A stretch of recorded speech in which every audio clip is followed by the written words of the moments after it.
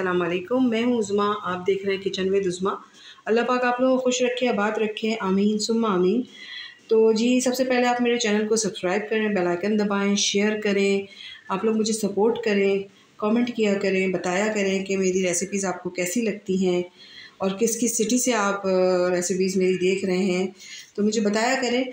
तो जी, मैं आज बनाने जा रही हूँ ब्रेड रोल तो ब्रेड रोल बनाने के लिए मैंने ये देखें चिकन का कीमा लिया है, इसको बॉईल कर लिया है नमक डाल के।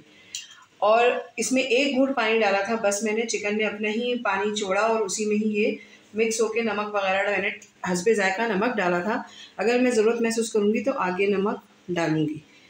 तो बाकी ये सब चीज़ें मैंने ली हैं, मैं आपको डालती जाऊँगी और बताती जाऊँगी कि किस तरीके से ब्रेड रोल तैयार होते हैं। आप मेरी वीडियो पूरी देखा करें, स्किप ना किया करें, बहुत मज़े के ये रोल तैयार होते हैं। अब शुरू करते हैं अल्लाह के हुक्म से। बिसमीम ज़्यादा ऑयल नहीं जाएगा, बस थोड़ा सा एकदम बरए नाम सा इसमें ऑयल जाएगा। यानी कि एक टेबल स्पून ले लें ऑयल कितना ऑयल जाएगा? अब इस पॉइंट पे आके हम जो है ये आँच धीमी है कीमा जो है वो हम इसमें डालेंगे। ये देखो। मैंने कीमा इसमें डाल दिया। मेरे पास थोड़ा सा कीमा रखा था, आप चाहें तो ज़्यादा बनाएँ तो ज़्यादा कीमा ले लें।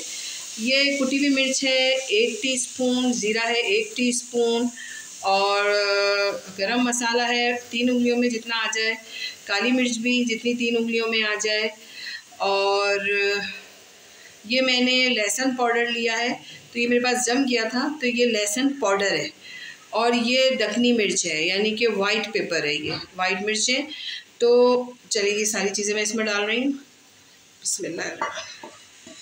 जो चीज़ मैं कम महसूस करूँगी, वो मैं इसमें ऐड कर लूँगी। इसके साथ ही मैंने ये बारीक, बिल्कुल तीन हरी मिर्च ली हैं और थोड़ा सा हरा धनिया लिया है, ये भी साथ डालूँगी। ये देखिए। बिल्कुल बरए नाम मैंने ऑयल डाला है, एक चमचा ही ऑयल डाला है। बस उसी में ही डाल के आपने ये तैयार कर ली। और सोया सॉस के मैं, ये सोया सॉस है, मैं तकरीबन ये सोया सॉस एक चमचा डाल रही हूँ, टेबल स्पून। ये देखिए। चिकन पाउडर मेरे पास है नहीं, अगर आप लोगों के पास हो तो आप लोग चिकन पाउडर लाजमी डालिएगा। उससे टेस्ट बहुत अच्छा बनता है। और पिसी हुई और कुटी हुई मिर्च मिक्स करके भी डाल सकते हैं आप। ज़रूरी नहीं है कि अगर कुटी कुटी हुई मिर्च नहीं है तो आप प्रॉब्लम में आ जाए तो पिसी हुई भी डाल सकते हैं। ये देखिए। इस तरीके से थोड़ी देर ही इसको मैं पाँच से दस, पाँच मिनट ही मैं इसको भूलूँगी क्योंकि ये ऑलरेडी बॉयल हो चुका है। और इसका थोड़ा सा मैं टेस्ट करूँगी कि इसमें क्या क्या चीज़ की कमी है तो बस उसी हिसाब से मैं और चीज़ें भी इसमें ऐड कर लूँगी। ये देखिए, मैं लहसुन अदरक का पेस्ट जो थी वो डालना भूल गई थी तो मैं आप लोग पहले ही डाल लीजिएगा। मैं भूल गई थी डालना, एक चमचा लहसुन अदरक का पेस्ट डालना है। आप लोग पहले ही डाल लीजिएगा। मैंने ऑयल डाल लिया है कढ़ाई में और बिल्कुल धीमी आँच पे आ, मैंने ऑयल रखा हुआ है और ये मैंने दो अंडे लिए हैं इसको मैं फेंट लूँगी। अंडों में कुछ भी नहीं जाएगा। जिसमें ब्रेड जिस पानी में भीगेगी उसमें आप पिंच सा यानी कि चुटकी सा नमक ज़रूर डाल लीजिएगा।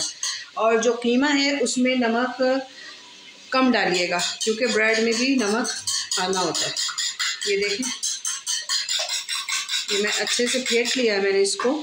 फेंट के अब मैं, ये मैंने ब्रेड ली और इसको मैं हल्के हल्के पानी में डिप करूँगी।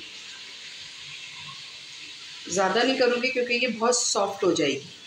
हल्के हल्के से पानी में देखिए हाथ डाल डाल के मैं ऐसे कर रही हूँ, अगर मैंने पूरा डिबो दिया तो ये बहुत ज़्यादा नरम पड़ जाएगी। बस अपना हाथ में गीला कर करके लगा रही हूँ, ये देखें आप।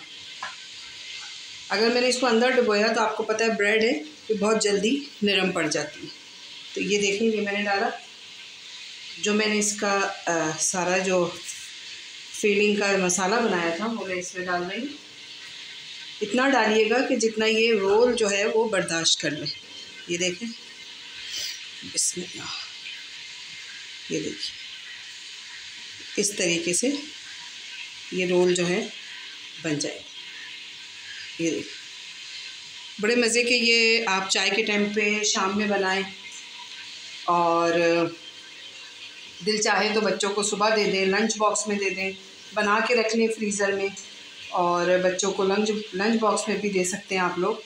ये देखिए, इस तरीके से हल्का हल्का छीटे से मैंने करके और इसको दबा दिया। ये देखिए, इस तरीके से। ये देखिए। ये मैं आप, मैंने आपको दो रोल बना के दिखा दिए तो इसी तरीके से मैं सारे रोल तैयार कर लूँगी। ये मैंने सारे बना लिए रोल और इसके आप लोग इस तरीके से किनारे भी दबा लीजिएगा। इतने नरम हो जाते हैं कि ये आराम से चिपक जाते हैं। अब मैंने ये अंडा फेंट के रखा हुआ है। अब इसमें मैं ये ये देखिए कितनी सफ़ाई से तैयार हुए बस इसमें अब ये मैं अंडे में डिप करूँगी।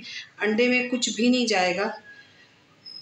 बिस्मिल्लाह, ये देखिए इस तरीके से। अभी बिल्कुल धीमी आँच है क्योंकि ये ब्रेड है और बहुत जल्दी जलेगी। तो इसलिए ये थोड़ी सी तेज़ करूँगी मैं आज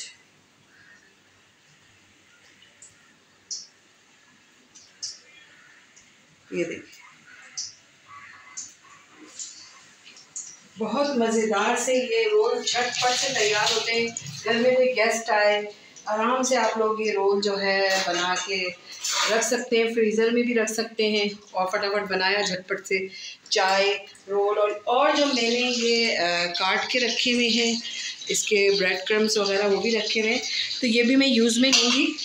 आप मेरी वीडियो पूरी देखिएगा और देखिएगा कि मैं किस तरीके से इसको यूज़ में लेती हूँ और बच्चे बहुत मज़े से खाएँगे। देखिए, ये इस तरीके से सारे फ्राई हो रहे हैं। ये देखिए, मैंने निकाल लिए और कुछ चूल्हे पे रखे हुए बिल्कुल मीडियम आँच पे आपने फ्राई करना है। थोड़ी सी शुरू में स्लो रखनी है, बाद में मीडियम रखना है, ताकि ये जले ना। और इनको देखते रहना है अलट पलट करके। इस तरीके से, जिस तरीके से मैं देख रही हूँ, ऐसे अलट पलट करके आप देखते रहिएगा। ये देखिए। रोल जो हैं, वो तैयार हो चुके हैं, कीमे के रोल और ब्रेड रोल अब जो ये इसके जो किनारियाँ बची हैं, अब इसको मैं, मैंने ये बेसन फेंट के रखा है, इसमें नमक, मिर्च और लहसुन पाउडर। वो डाल के मैंने इसको फेंट के रखा है और अब मैं इसको इसके अंदर डाल के फ्राई कर लूँगी। इसे ये देखिए, इस तरीके से मैंने डाल ली है और जल्दी जल्दी मैं ये कढ़ाई में डालती जाऊँगी। इस तरीके से। जैसे हम पकौड़े, आलू के पकौड़े वगैरह बनाते हैं तो इस तरीके से ये जो है यूज़ में आ जाते हैं। वरना ये यूज़ में नहीं आ पाते। ये देखिए आँच बिल्कुल धीमी है, लेकिन तेल काफ़ी गर्म हो चुका है। तो मैं थोड़ी और आँच धीमी करूँगी। ये ये देखिए, बिल्कुल फिंगर चिप्स की तरह जैसे होते हैं, उस तरीके से ये बन जाएँगे और ये ज़ाया भी नहीं होंगे और बच्चे खा भी लेंगे। देखिए, ये गर्मा गर्म ब्रेड रोल आप लोगों के लिए ये तैयार है।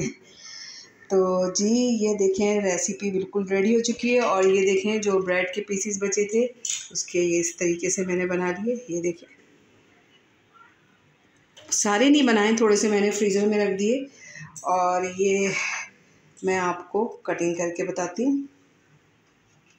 बिसमीम ये देखिए गर्मा गर्म से मज़ेदार से ब्रेड रोल तैयार है और इसको चटनी के साथ केचप के साथ खाएँ आप लोग। तो चले चलती हूँ। दुआओं में याद रखिएगा। अल्लाह हाफिज़।